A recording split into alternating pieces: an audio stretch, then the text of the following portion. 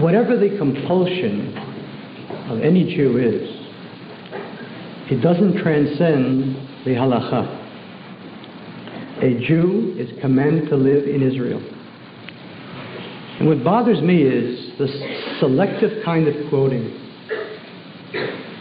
A quote from a Ramban about birds, but not a quote from the Ramban about the fact that there is an obligation upon each and every Jew to live in the land of Israel, an obligation from the Torah.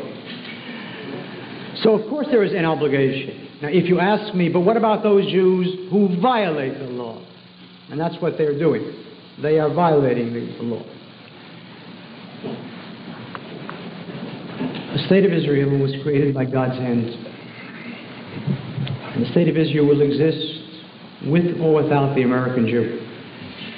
But the American Jew will not exist without the state of Israel.